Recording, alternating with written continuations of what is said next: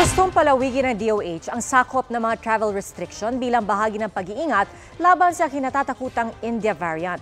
Gusto na rin isama ang Middle East kung saan nanggaling ang dalawang OFW na tinamaan ng naturang variant. Nakatutok si June Veneracion.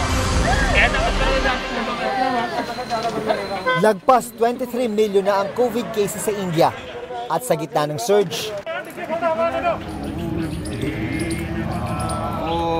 nagsagawa ng kakaibang paraan sa pag-asang makakuha ng proteksyon laban sa sakit.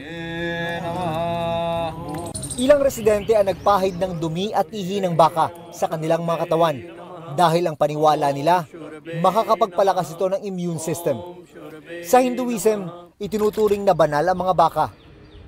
Pero babala ng Indian doctors, wala raw scientific basis na nakakatulong ito laban sa COVID at posibleng magdulot pa ito ng iba pang sakit. Apektado rin ng COVID surge sa India ang bansang Nepal. Magkahati kasi ang dalawang bansa sa isang open border. Higit apataraang libo na ang tinamaan ng COVID doon.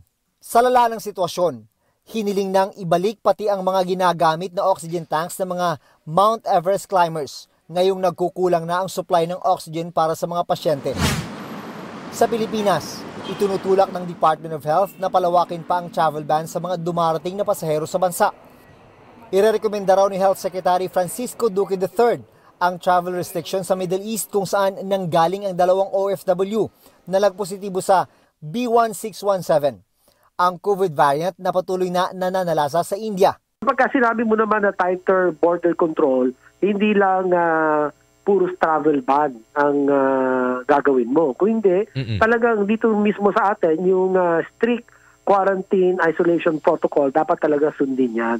Sabi ng World Health Organization, kubalat na sa 44 na bansa ang Indian variant. Pero nababagalan ng isang dating opisyal ng COVID-19 Interagency Task Force sa pagdidesisyon ng gobyerno tungkol sa pagpapalawak sa travel ban.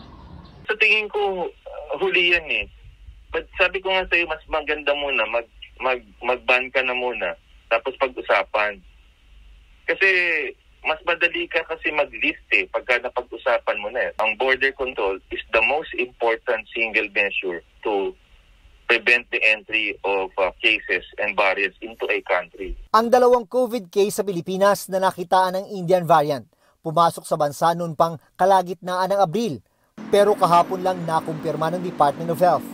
April 29 naman sinimulang ipinatupad ng gobyerno ang travel ban ng mga nanggagaling sa India at kalaunan ay isinama ang iba pang bansa na merong kaso ng Indian variant. Tuloy-tuloy pa rin po yung implementation natin ng mga ongoing na travel restrictions. We take our cue po from the IATF.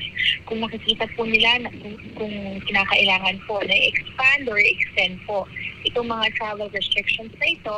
June Veneracion, nakatutok, 24 oras.